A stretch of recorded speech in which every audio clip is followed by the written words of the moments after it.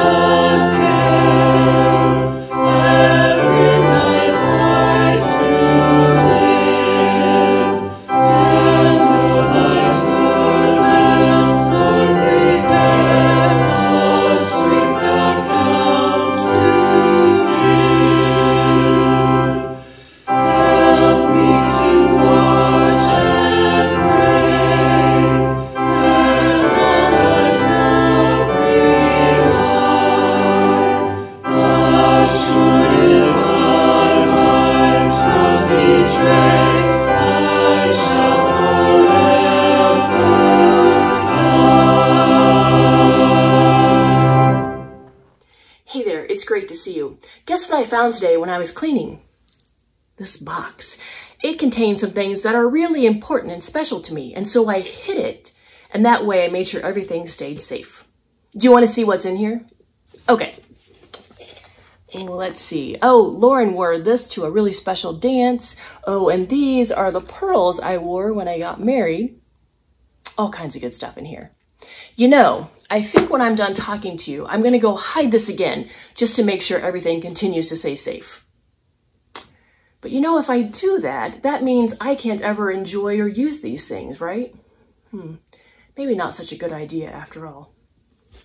This reminds me of our scripture for today. In our scripture, Jesus tells a parable, a story, about a boss who gives his workers some talents, some gifts. One of the workers takes his talents and he buries them. He never uses them. And in the end, he loses them. The other workers take their talents and they use them. And the more they use them, the more they grow. So what does that have to do with us? Well, each of us was given gifts specifically picked for us by God. We also call these gifts talents. The talents God gave you can be whatever you're good at. Uh, sometimes that involves a sport, or maybe it's a musical talent, or maybe you're good at drawing, or problem solving, or building things. Whatever the case is, God made you good at something for a reason. God made you to use your talents, and when you use your talents, they become even better gifts. You can use your talents to love and help others. You can use your talents to do good works and to make your mark in the world. When you use your gifts, you're also serving God. When you use the gifts God has given you, the gifts continue to grow and to give. Every gift is important and can change lives and make a difference. So how will you use your gifts? How will you leave your mark in the world? Have a great week. I'll see you soon. Matthew chapter 25, verses 14 through 30. For it is as if a man, going on a journey, summoned his slaves and entrusted his property to them. To one he gave five talents, to another two, to another one, to each according to his ability. Then he went away. The one who had received the five talents went off at once and traded with them and made five more talents. In the same way, the one who had the two talents made two more talents. But the one who had received the one talent went off and dug a hole in the ground and hid his master's money. After a long time, the master of those slaves came and settled accounts with them. Then the one who had received the five talents came forward, bringing five more talents, saying, Master, you handed over to me five talents. See, I have made five more talents. His master said to him, Well done, good and trustworthy slave. You have been trustworthy in a few things. I will put you in charge of many things. Enter into the joy of your master. And the one with the two talents also came forward, saying, Master, you handed over to me two talents. See, I may I have made two more talents. His master said to him, Well done, good and trustworthy slave. You have been trustworthy in a few things. I will put you in charge of many things. Enter into the joy of your master. Then the one who had received the one talent also came forward, saying, Master, I knew that you were a harsh man, reaping where you did not sow, and gathering where you did not scatter seed. So I was afraid and I went and hid your talent in the ground. Here you have what is yours. But his master replied, You wicked and lazy slave, you knew, did you, that I reap where I did not sow and gather where I did not scatter? Then you ought to have invested my money with the bankers, and on my return I would have received what was my own with interest. So take the talent from him and give it to the one with the ten talents. For to all those who have, more will be given, and they will have an abundance. But from those who have nothing, even what they have will be taken away. As for this worthless slave, throw him into the outer darkness, where there will be weeping and gnashing of teeth. This is the word of God for the people of God. Thanks be to God.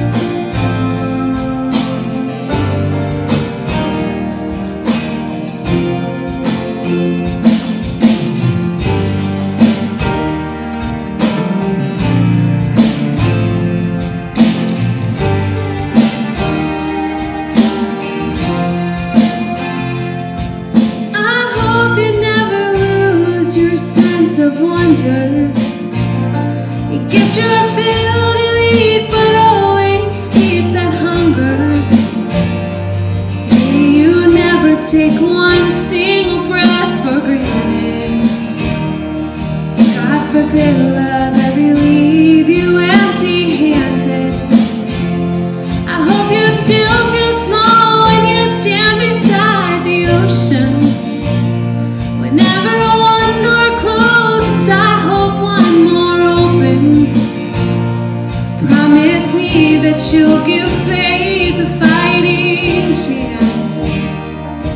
And when you get the choice to sit it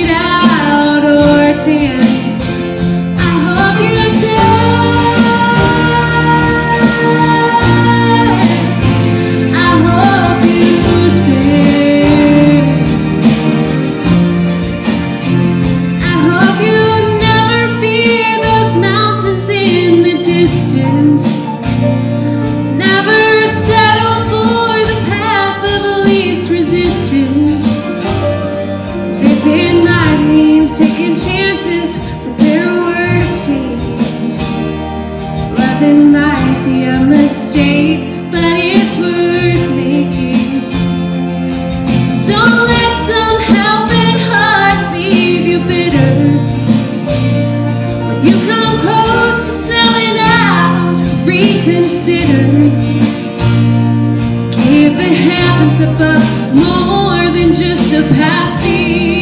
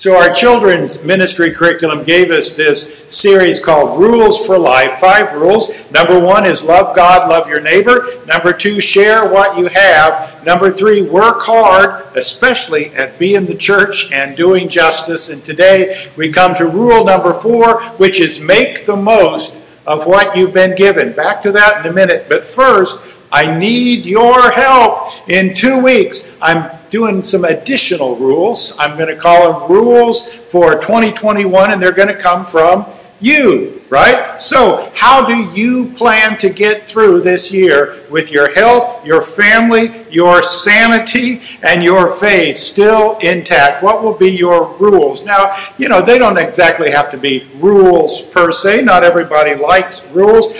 What are your New Year's resolutions, for example? What is your motto? What words do you live by, whether this year or maybe just all of your life?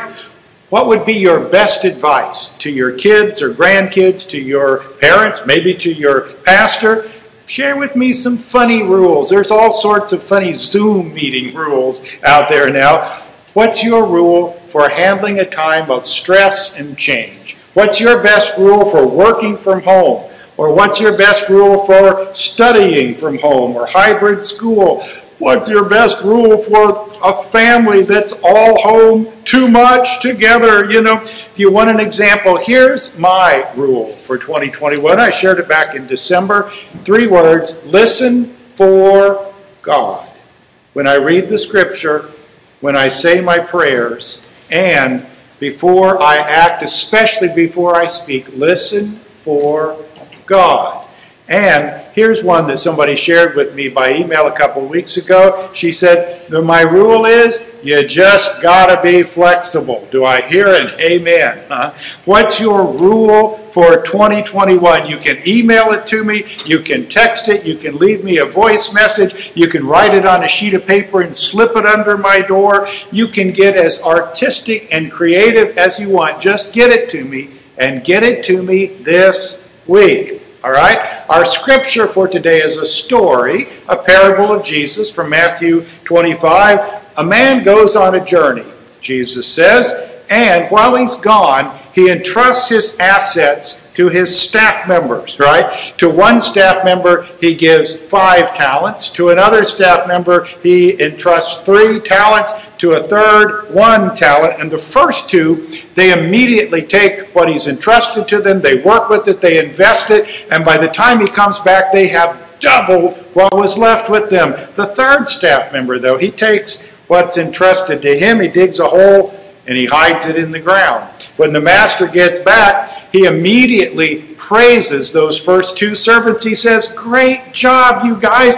You have been faithful with this much. I will put you in charge of a lot more. And then the third one comes in and says, Well, I knew that you were a harsh and mean kind of guy, and I was afraid, and I took what you gave me and I hid it in the ground. Here it is, safe and sound. And the master is irate. He says, what? You thought I was mean and harsh? Well, I'll show you mean and harsh. You could have at least taken what I gave you and, I don't know, put it in an IRA or something so I'd have some interest. Out with you. Now, that's the parable. That's the plot of the story. I want to share with you today three, one, two, three interpretations of this parable. Here's the first one.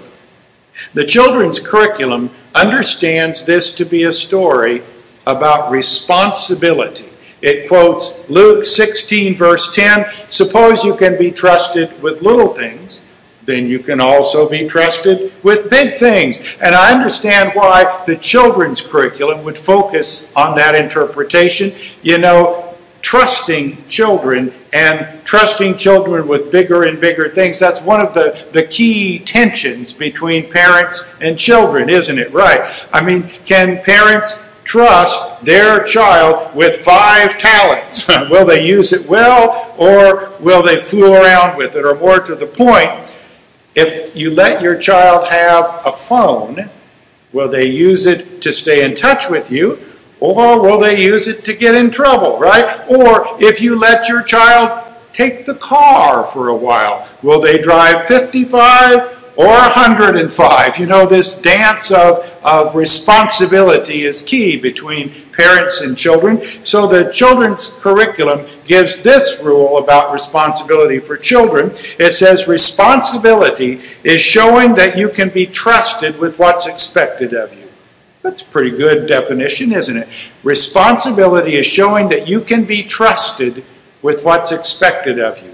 The curriculum's rule for parents, it's a little longer, a little clunky. For parents, it says as kids are growing up, we should involve them in practical responsibilities that they can accomplish at different ages that allow them the satisfaction of finishing work. Well, that sounds easy, doesn't it?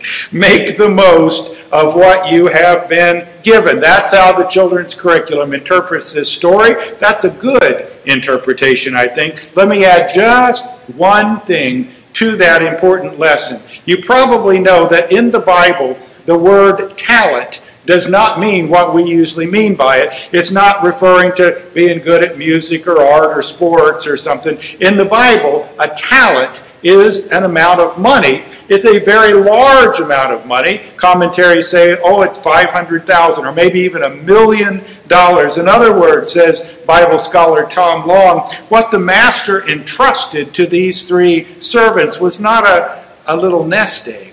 It was a fortune. It was a fabulous amount of money. What it was, he says, it was a symbolic amount of money.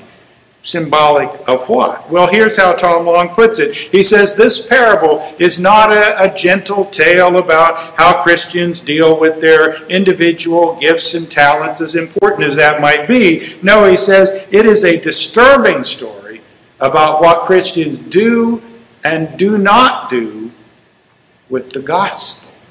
You see, maybe it's not a story about whether or not children clean their room or finish their chores.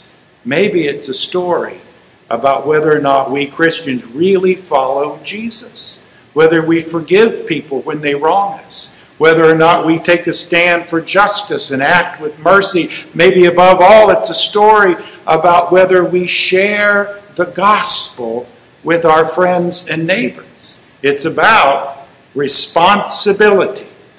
That's interpretation number one. Here's my second interpretation for you. There's a, a, set of Bible scholars whose whole careers really revolves around trying to find the, the traditions, both written and oral, that lie behind the Gospels as we have them. And some of them spend their time trying to figure out, well, what would Jesus' original hearers have heard in his stories. How would they have responded to the parables that Jesus told? And Bible scholar William Herzog makes the point that no Galilean peasant farmer in Jesus' time would have heard this story and thought that the master was a figure representing God. No way, he says. They would immediately have understood that anybody with that much money had to be an absentee landlord. And they knew how absentee landlords got their money. They got it from exploiting poor people like them, from overcharging them for seed and underpaying them for grain, by lending money to them at exorbitant rates of interest so they could foreclose and take their land. And they knew that, uh, that these two original servants, they knew how they doubled their money by further exploiting poor people. No, Herzog says, for Galilean peasants, the hero of this story was not the rich guy, it was that third servant, you see, the one who refused to use the master's money to further exploit the poor. The one who refused to participate in anything that would make the rich richer and the poor poorer. The third servant, Herzog said, kind of stuck it to the man. and when Jesus told this story, everybody would have stood up and cheered for him. He says this is the way that poor peasant farmers in Latin America always understand this story until the priest tells them they're not supposed to. it's important to know that the Bible is heard and understood in different ways by people in different circumstances. Now, I promised you three interpretations, didn't I? Number one was about responsibility. Make the most of what you've been given. Number two is don't participate in exploiting poor people. And number three is really my favorite. You might call it what to do while waiting for Jesus.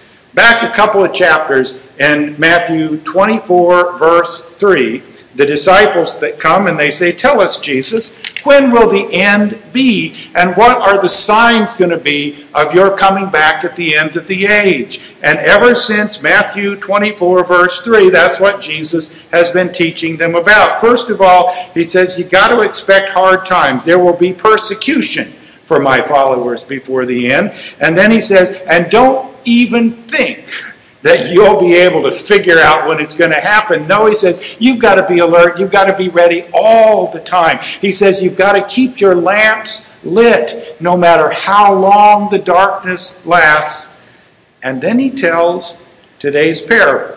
He says, it's like this Suppose a master goes away and he leaves his disciples in charge. What should they do while he's gone? Should they just kind of sit around and wait for him to get back? No, of course not. Should they be really careful not to do anything wrong ever? No, that's not it. Should they keep their Bible shiny and fresh and their faith untested? No, of course not. They should invest the love that he's given them in other people. They should make sure that other people know the joy and freedom that they have known in Jesus Christ, however long it takes the Master to get back. They should work and serve and love and invite. They should make something of each and every day they get to live. You see, at first glance, we might think that this is a story about money, what with the talents, the bags of gold, and all. But it turns out this isn't really a story about money. It's really a story about time. And the older I get, the more I come to believe that maybe every story is really about time. What are you going to do until the Master gets back? How are you going to live your life so long as there is precious breath in your lungs? Who are you going to forgive before it's too late? Who are you going to invite to church and invite to know Jesus Christ while there is still time? What risk are you willing to take for the gospel before the end comes? Several years ago, John Mayer uh, sang a Grammy Award winning song. It's called Waiting for the World to Change. Maybe you know it. It's a catchy tune. I actually like the song a lot, but it, its message is dead wrong. We're not waiting for the world to change. We are changing the world while we wait. Here's one other way of thinking about that. You know, there's a lot of people right now, they're just kind of sitting around waiting for the pandemic to end, right? They're just biding their time until, quote, things get back to normal. Newsflash Jesus did not teach us to wait around. Jesus taught us to love and care and make something of this life. And another newsflash there is no normal to get back to. There is only God's future to live into. And that is why here at Bethel International Church this past year, we have been investing, we've been investing our COVID time in gospel work. You see, that's why we have been standing against racism on Bethel Road and learning about anti racism. That is why we have been learning more and more about how to share the gospel online with online worship and YouTube videos and Facebook posts. That is why we took the time to tell the story of the birth of Jesus to people driving through in their cars and in international art in a dozen different languages. You see, the question is not, will this pandemic ever end? Of course it will. The question is, what will we have to show for ourselves? when the virus is finally gone. And in the Bible, the question is not, will Jesus ever come back? Of course he will. Question is, what are you going to do while you wait for him to come back? It's rule number four. Make the most of what you've been given. Or to put it slightly different, make the most of every moment you are given. Amen.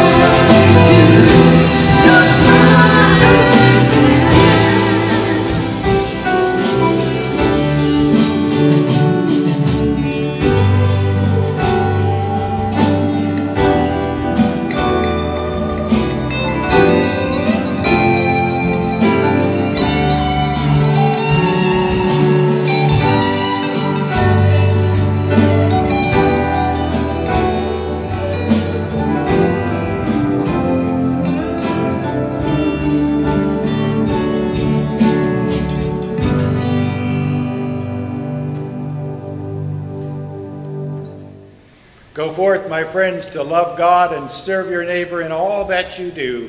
Make the most of everything and of every moment that you are given. Amen.